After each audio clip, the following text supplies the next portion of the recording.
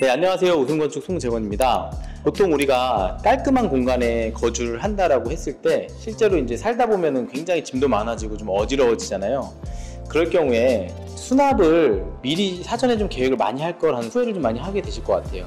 이거를 조리 있게 인테리어 할 때 같이 잘 설계를 해주시면 아무래도 좀 공간별로 굉장히 깔끔하게 공간이 구성이 되고 수납 공간도 많아질 것 같아요. 어, 저희가 이번 영상은 약간은 좀 자랑을 좀 해보고 싶어서 촬영을 하는 거예요.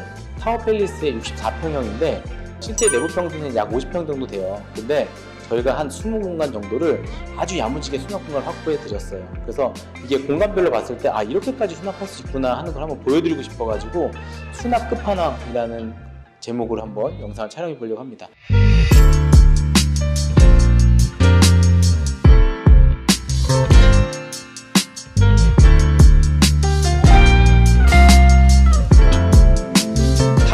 가보시면 현관 같은 경우부터 그쪽에서 쭉 와서 보시면 아시겠지만 현재 제가 여기 서 있는 단체 사이가 지는 이 구간 같은 경우는 신발장이에요. 바로 현관 부분입니다. 이 구간 같은 경우는 보다시피 네 짝으로 어, 이렇게 신발장 구성을 했고요. 제가 문은 안 닫을게요 이제. 그냥 쭉 열어놔 보겠습니다. 신발장 구성을 하고 또 이 신발을 딱 벗고 들어오면 실제 이쪽은 실내 공간이잖아요. 이 공간 같은 경우 저희가 복도장이라고 보통 얘기를 해요. 두 번째로 수납을 할 수 있는 게 바로 이렇게 복도장. 근데 이런 것들이 보면 그냥 복도의 한 벽체라고 생각했는데 이렇게 열어봤더니 어마어마한 수납인 거죠. 이렇게 이제 현관 쪽에 현관과 복도장으로 크게 두 가지로 이제 수납을 케어를 했고요. 들어오자마자 바로 이제 오른쪽 측면에 보면은 팬트리 공간이에요. 이 공간은 그냥 문을 열면 이 공간 자체가 아예 수납입니다. 그래서 왼쪽 이쪽은 선반을 계획할 거고 이쪽은 또 고객님께서 쓰실 김치 냉장고 같은 거 놓을 수 있는 공간인데 이 공간은 오로지 수납으로만 존재하는 공간이다라고 봐주시면 좋을 것 같고 근데 보면 이런 것들이 다 보면은 벽 라인이랑 이런 거 맞춰가지고 없는데 문 열어보니까 수납 공간이 있네 하는 그런 공간의 형태를 많이 만들었어요. 또한 이쪽 같은 경우도 보면은 전체가 다 이렇게 수납 공간을 계획해서 실제로 굉장히 헤비할 수도 있는 이 공간이 엄청나게 많은 수납이 들어갔잖아요. 보시면 주방에서 바라봤을 때 이렇게나 많은 수납을 이 공간에 확보 했어요. 그래서 이게 이 집에서 이제 큰 네 번째 수납을 확보했던 것이고 그 다음에 아일랜드 보시면 아일랜드 같은 경우도 실은 앞뒤로 제작을 했어요. 그래서 제가 지금 서 있는 쪽 같은 경우는 여다지로 계획도 하고 서랍도 계획을 했어요. 보다시피 이제 싱크볼 들어가는 곳은 여다지, 나머지 이쪽 구간은 다 서랍으로 계획을 했어요. 보시면 아일랜드 이제 맞은편 쪽 수납 공간 같은 경우는 이렇게 많은 수납 공간을 배치를 했고요.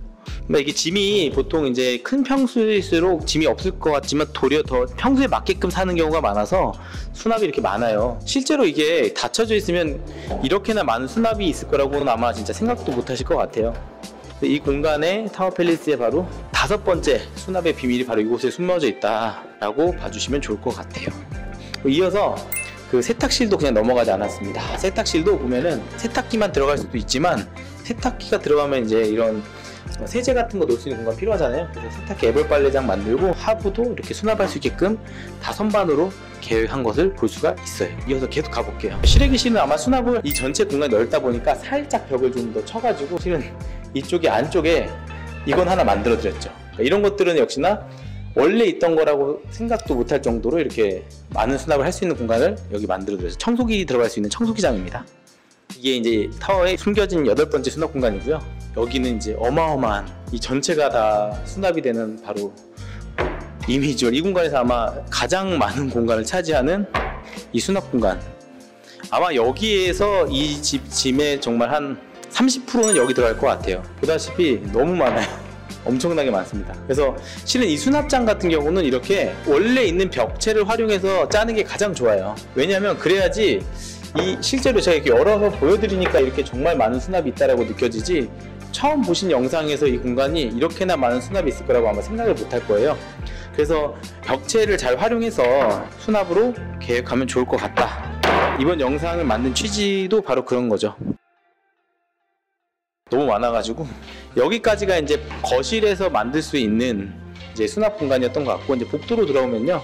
복도에 이제 여기 같은 경우 원래 안방에 있었던 팬트리 공간인데 여기는 저희가 센스 있게 이렇게 walk-in closet 개념으로 만들었어요. 뭔가 선반을 만들 수도 있지만 이렇게 들어오면 천장 같은 경우 센서 등으로 계획을 해갖고 들어오면 센서를 딱 켜지게끔 해서 내부에 큰 짐 같은 거 놓을 수 있게끔 했고 기존의 벽체에 이런 선반 같은 거 설치해서 상부는 수납, 이 하부에는 좀 무거운 짐들 같은 거 놓을 수 있게끔 계획을 했어요. 아무래도 현관에서 가깝다 보니까 현관에서 가까운 그런 짐들 놓을 수 있는 공간을 했고 그다음에 이 욕실 같은 경우는 수납한다고 하면 딱 정해져 있잖아요. 변기 뒤쪽에 들어가는 수납장 이렇게 두 가지 타입 들어갔고요. 보통 이게 이제 좋은 점이 이 장과 장 사이에도 뭔가 놓을 수 있다는 게 좀 장점이고 또 측면 같은 경우 보시면 하부장 계획되어 있습니다. 하부장 같은 경우도 이렇게 수납 같은 거 할 수 있게끔 계획을 했어요.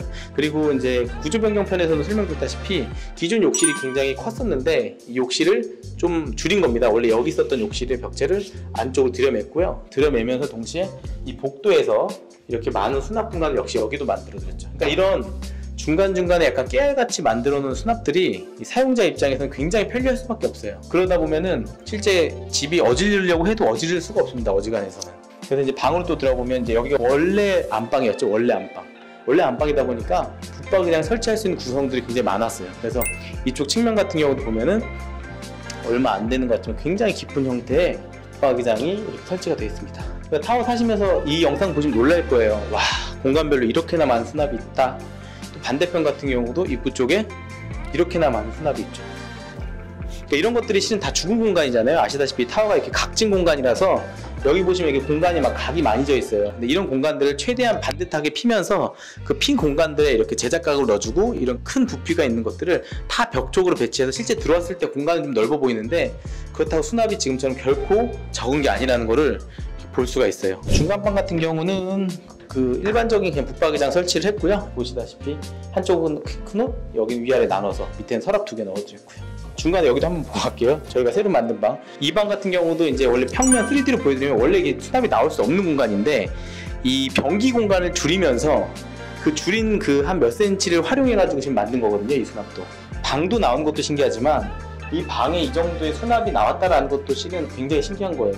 3D로 보면 진짜 놀랄 겁니다. 욕실 구간을 이렇게 타이트하게 만들면서 이 공간을 반대편 방에서 수납구로 만들었다. 이 정도 되면은 뭐 진짜 수납이 많다는 거를 아마 느끼실 거고 이 안방 한번 보시면요. 안방은 설명드렸던 것처럼 전체적으로 들어오자마자 그냥 붙박이장을 둬야 되는 이 공간에다가 붙박이장을 설치를 했습니다. 이쪽은 전체적으로 이제 수납을 해서 전체 붙박이장 계획을 했고 그 다음에 측면 같은 경우 선반으로 계획해서 물건 같은 거 올려줄 수 있게끔 계획을 했고요.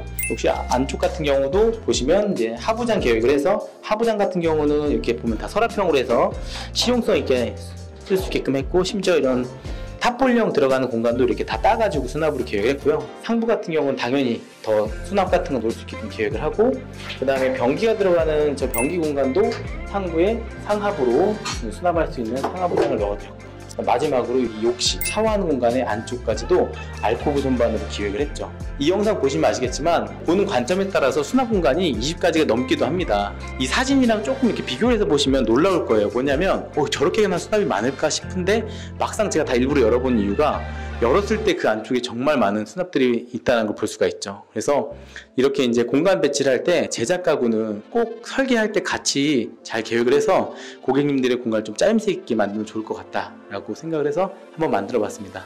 이것으로 영상 마치도록 하겠습니다.